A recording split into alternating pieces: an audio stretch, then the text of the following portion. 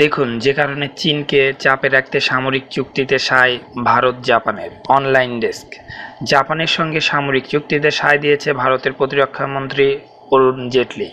জাপানের প্রতিরক্ষা মন্ত্রী তোমেমি ইনাডাকে জেটলি বলেন, জাপানের সঙ্গে কূটনৈতিক সম্পর্ক স্থাপনে রাজি ভারত।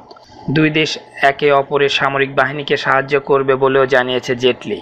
জুলাইতেই আমেরিকার সঙ্গে ত্রিপাক্ষিক নৌমহড়ার কথা রয়েছে ভারত ও জাপানের। ভারত ও জাপানের এই সম্পর্ককে উৎসাহিত করে যুক্তরাষ্ট্র। তবে এই সমস্ত সিদ্ধান্ত যে আসলে চীনের কথা মাথায় রেখেই সেটাই বলেছেন বিশেষজ্ঞরা। ভারত ও জাপানের এই সম্পর্ক নিয়ে আগেও উদ্বেগ প্রকাশ করেছে চীন। অন্যদিকে নৌমহড়ায় যুক্তরাষ্ট্র ও জাপানের মতো প্রযুক্তিতে শক্তিশালী দেশগুলোর সঙ্গে নিজেদের সম্পর্ক আরও একবার ঝালিয়ে নিচ্ছে ভারত।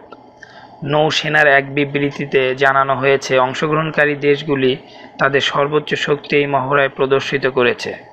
সাবমেরিন থেকে হামলা হলে কি করে মোকাবেলা করা হবে, কি করে মার্কিন ও জাপান সেনার সঙ্গে যুদ্ধের সময় তৎপরতার সঙ্গে যোগাযোগ করা হবে, সে সবই থাকছে মহড়ায়।